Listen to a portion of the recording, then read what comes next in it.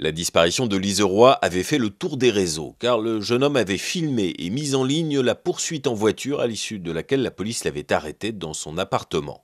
Ce mercredi, dans la vidéo qu'il a postée, Lise Roy indique qu'il a ensuite été emmené dans un commissariat, la police lui expliquant qu'il était soupçonné de troubles à l'ordre public, mais qu'il n'y aurait aucune punition. Par contre, comme il s'était rendu dans des zones à risque, il a subi deux quarantaines. Deux semaines à Wuhan, où ses appareils d'enregistrement ont été confisqués, puis deux semaines supplémentaires dans sa ville d'origine. Le jeune homme affirme avoir été bien traité par une police qui a toujours pris garde à ce qu'il ne manque de rien. Dans cette nouvelle vidéo, le ton de Liseroy, neutre, presque sans émotion, est bien différent de celui qu'il employait à son arrivée à Wuhan, lorsqu'il expliquait parler dans l'espoir que plus de jeunes résistent, et qu'il enquêtait entre autres sur un comité de voisinage qui, selon lui, tentait de dissimuler des infections.